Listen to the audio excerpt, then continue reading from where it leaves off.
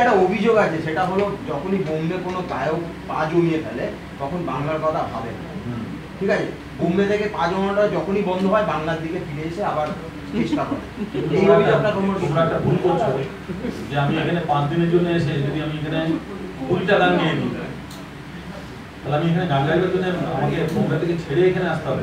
এখানে তারা ওয়েট করে আছে তিন মাস ধরে।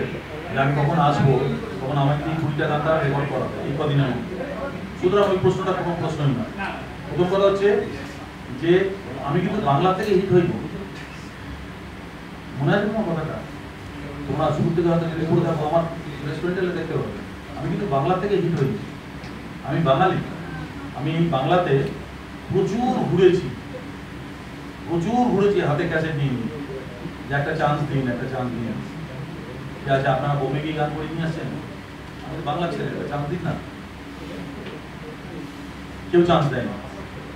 তখন কিন্তু আমাকে বোম্বেই চান্স দিয়েছে আর বোম্বেতে চান্স দেওয়ার পরে এই বাংলার থেকে লোক গিয়ে আমাকে গান করে নিয়ে এসেছে।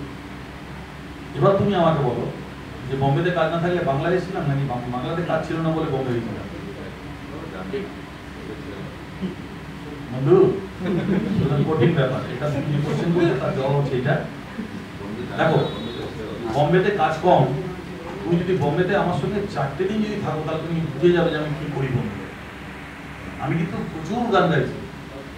আমার এই তিন তারিখে কুটুম বলে একটা ছবি রিলিজ হবে কুটুম তুমি ইউটিউবে গিয়ে টাইটেল সার্চ করো আর দেখে নিও তাদের ভিউয়ার্স কত আছে তাহলে বুঝতে পারবে যে এখনও আমার ফেসবুকে গিয়ে তুমি একটু সার্চ করে নিও যে আমার কত মিলিয়ন্স ফ্যান ফ্যান্স আছে।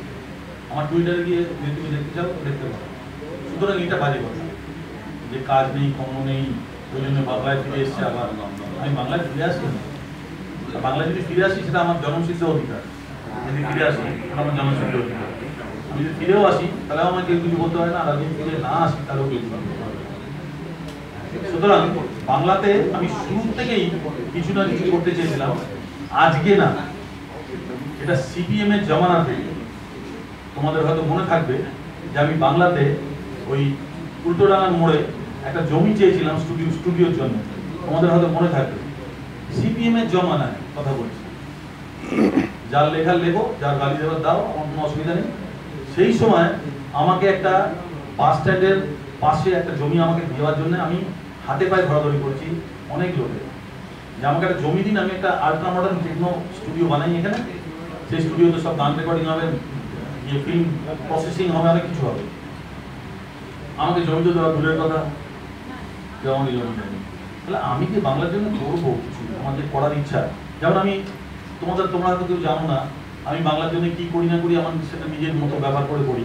হয়তো তোমরা জানো না যে ক্যানিংয়ে তো আমার একটা স্কুল ওপেন হচ্ছে। আমি কতদিন থেকে তোমাদের বলছি যে আমার স্কুলটা ওপেন হচ্ছে? কিন্তু স্কুলটা ওপেন করতে পারছি না এই মুহূর্তে। আমার হয়তো আরও পনেরো দিন লেগে যাবে। আমি ভেবেছিলাম এবার বারো তারিখে করে ফেলব।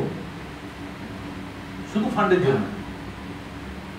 আমি গান গিয়ে যতটা পারি আমার দিল্লি স্কুলটা চালাতে আমার একটা বড় পোর্শন খরচা পঁচাত্তরটা বাচ্চা আছে ওখানে। চার বছর ধরে, তিন বছর হয়ে গেছে, চোদ্দ বছরে পড়েছে।